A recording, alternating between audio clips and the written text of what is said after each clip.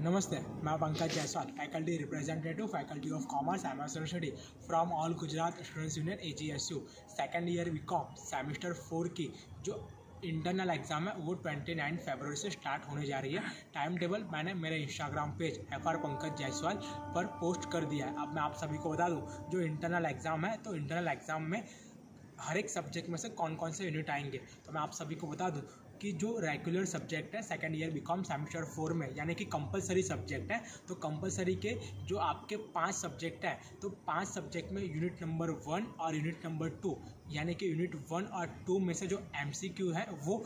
उसके question paper पूछने में आपको आएँगे इन इंटरनल एग्ज़ाम और बात रही अब ऑप्शनल सब्जेक्ट की तो ऑप्शनल सब्जेक्ट में मैं आपको बता दूँ, सिर्फ़ आईटीआरपी यानी कि इनकम टैक्स रिटर्न प्रिपरेशन का जो सब्जेक्ट है आईटीआरपी उसके अंदर से यूनिट नंबर वन और यूनिट नंबर थ्री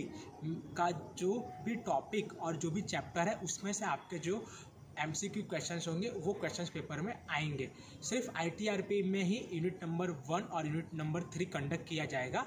सिर्फ़ इंटरनल एग्ज़ाम के लिए और जब एक्शनल होगी तो उसमें ऑल ओवर जो यूनिट होते हैं वो कंडक्ट किए जाते हैं। कंपलसरी जो कोर कंपलसरी सब्जेक्ट है, उसमें यूनिट वन और यूनिट टू हर एक सब्जेक्ट में कंडक्ट किए जाएँगे इंटरनल एग्ज़ाम के लिए। और जो ऑप्शनल सब्जेक्ट है, सभी के सेकेंड ईयर बीकॉम में जो लास्ट के दो ऑप्शनल सब्जेक्ट होते हैं तो ऑप्शनल सब्जेक्ट में सिर्फ़ I T R P income tax return preparation जो मैंने कहा, उसमें सिर्फ़ यूनिट नंबर वन और यूनिट नंबर थ्री कंडक्ट किया जाएगा। नमस्कार।